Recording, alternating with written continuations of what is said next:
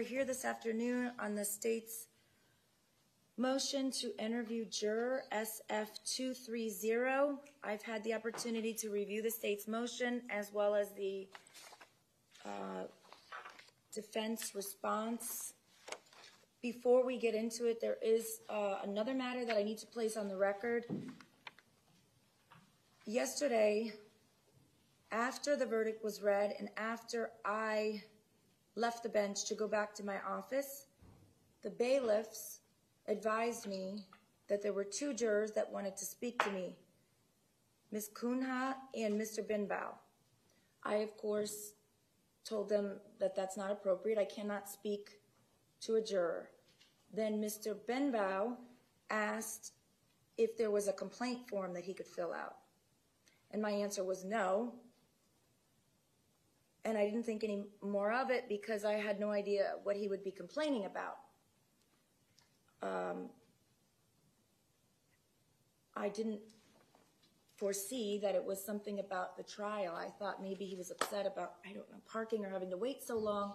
I wasn't really sure.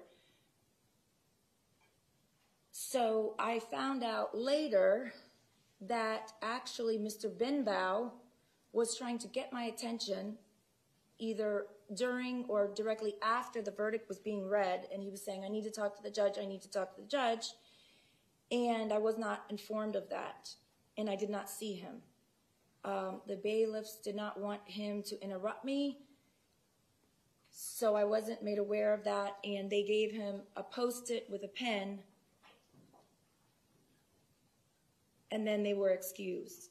So that's the order that I received the information, even though, even though the order in which it happened was he tried to get my attention while we were in court. I didn't see him, and he asked to speak to me, uh, from what I understand, a couple of times.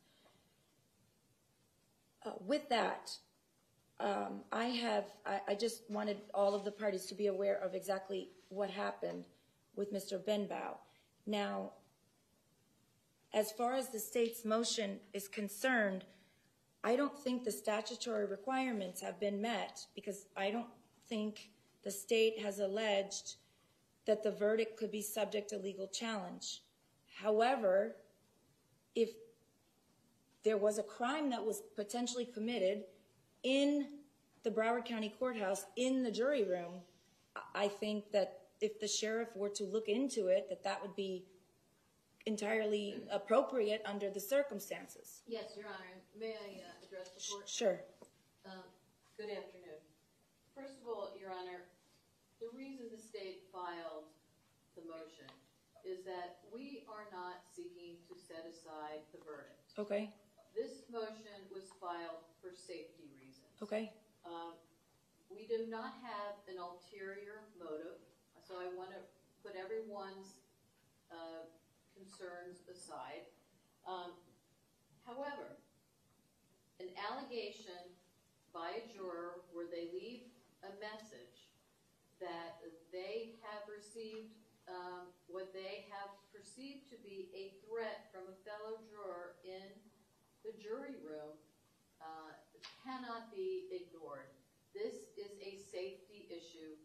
I repeat, we are not trying to set aside the verdict, but prosecutor cannot ignore a phone call that a threat has been made and that the person is frightened. And the reason I use the word frightened is that the support staff member who took the call said that the person who left the message was upset and then said that they seemed frightened.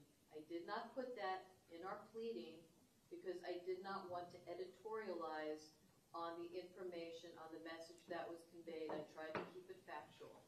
But if a crime, if a crime was committed in the jury room, and we do not know that, and it may be nothing, but it may be something, there is no immunity for a crime that could have occurred in a jury room. The fact that it happened in a jury room does not confer immunity on, on what uh, crime could have been committed back there and it needs to be looked into. Now, the fact that they came to us, we would normally be able to, you know, have an investigator talk to someone who makes a complaint to us. We could have, she's asked that we return the phone call. We know we cannot do that. And that the only vehicle to bring this to the courts and the party's attention is to file this motion. And we have asked an uninterested party, which would be law enforcement, to speak to the juror. Frankly, we don't want to touch this with a ten-foot pole. I understand. Because we know that the defense will be jumping up and down and saying that we are trying to undermine the verdict, which we are not trying to do. So the only reason we're doing this is that we cannot ignore a safety issue. I agree, and certainly if there were people doing things that they were not supposed to be doing, we need to be made aware of it.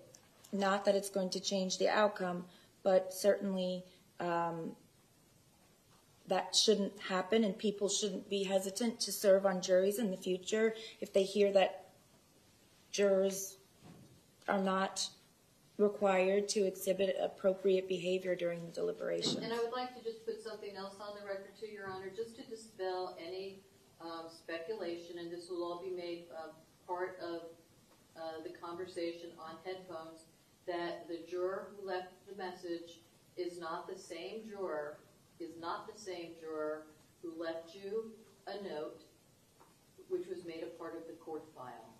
It's a different juror.